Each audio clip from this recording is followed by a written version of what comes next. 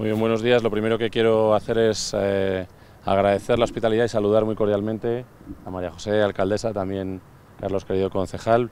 por supuesto a la presidenta de la Diputación Provincial de Palencia, Ángeles, también a su diputado eh, provincial, al delegado territorial de la Junta en la provincia, que lo está haciendo magníficamente, y por supuesto al director de Administración Local, Héctor Palencia, que me acompaña el día de hoy. Hoy esta visita, a esta actuación inversora en Aguilar de Campo, eh, lo que quiere hacer es representar el compromiso del Gobierno de Mañueco con todos y cada uno de los municipios de la provincia de Palencia. Un compromiso que se traduce en inversiones que permiten mejorar la vida de los vecinos, que permiten proteger los intereses de nuestros paisanos y generar oportunidades para el futuro de nuestro mundo rural, en este caso el de la provincia de Palencia y que se concreta además en esta localidad de Aguilar de Campo. Es verdad que nos encontramos en un momento en la actualidad en la que todos estamos viendo cómo vamos superando poco a poco la pandemia, aunque evidentemente hay que seguir manteniendo una exquisita precaución, porque estamos viendo en las últimas fechas cómo el número de casos están aumentando en nuestras localidades, pero el nivel de vacunación que estamos teniendo en Castilla y León nos hace ser optimistas, eh, aunque no tengamos que, dejar de perder de vista esa permanente vigilancia y precaución al respecto de la pandemia. Y si ha habido alguien comprometido con... Eh, seguir prestando los mejores servicios y seguir apostando por la calidad de ellos a sus paisanos del modo más directo han sido las entidades locales de Castilla y León. Por eso, desde el gobierno del presidente Mañueco, la apuesta decidida por colaborar con todas las entidades locales está sobre la mesa y va a ser una tónica general a lo largo de toda esta legislatura. Hoy quiero poner de manifiesto que, como bien se decía, esa colaboración entre las distintas administraciones está poniendo en valor muchas inversiones que mejoran la calidad de vida de nuestros paisanos, especialmente en los municipios que no son capitales de provincia, que aunque tienen una capacidad importante, como es el caso de Aguilar de Campo, con cerca de 7.000 habitantes, eh, quieren también representar y escenificar lo que significan los 2.248 municipios de todo Castilla y León, los 191 municipios de la provincia de Palencia.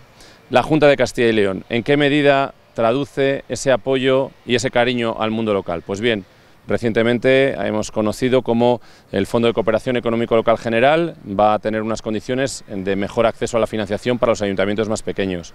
Hemos incrementado en un 25% la participación en los ingresos de la comunidad, en lo que ha sido sin duda un incremento histórico. Recientemente hemos anunciado un aumento del 30% en una nueva línea de subvenciones para ayuda a mancomunidades de toda nuestra comunidad autónoma para la adquisición de vehículos que prestan servicios a los paisanos que pertenecen a esos municipios en las mancomunidades. Y el ejemplo más paradigmático es que hemos sido una de las pocas comunidades que ha puesto encima de la mesa fondos extraordinarios para la lucha contra la COVID, un total de 93 millones de euros que han permitido financiar actuaciones en diversos ámbitos, en el ámbito social, en el ámbito del empleo, en el ámbito inversor, eh, por tanto, y sin duda, yo creo que una apuesta decidida que hoy se traduce, como estamos viendo aquí, en eh, una inversión que, como bien se ponía de manifiesto, viene a ser muy positiva para los aguilarenses y también para esas empresas, esas industrias que están generando oportunidades, empleo y, por supuesto, actividad económica en nuestras eh, provincias. Por tanto, el ejemplo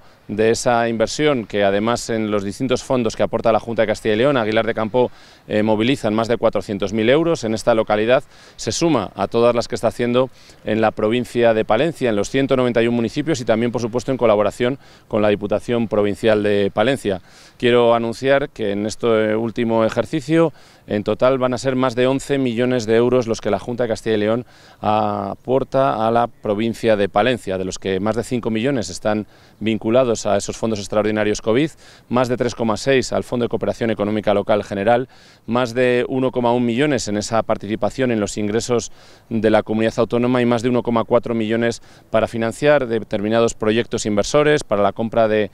camiones de recogida de residuos sólidos urbanos, en un total de cinco mancomunidades y otros seis proyectos inversores en otros municipios.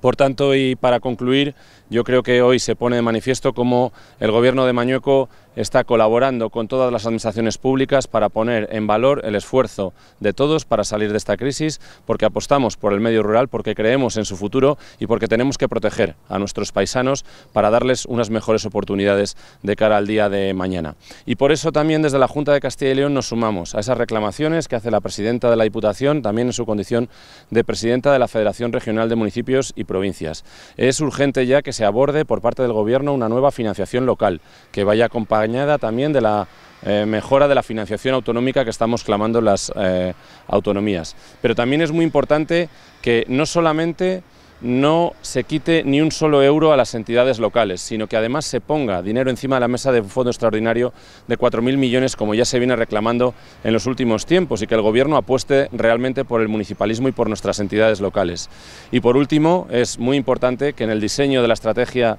de los fondos europeos las entidades locales tengan participación directa. Y así como el gasto público del mundo local en nuestro país es de aproximadamente un 15%, pues si hacemos esa proporción deberían de ser 20.000 millones de euros los que el mundo local de España y también el mundo local de Castilla y León pudiera gestionar en relación con los fondos europeos. Eh, es necesario que el Gobierno dé un paso adelante y, por supuesto, rechazamos de plano que se les pueda eh, disminuir cualquier tipo de recurso económico porque son las entidades que están eh, al pie del cañón permanentemente apostando por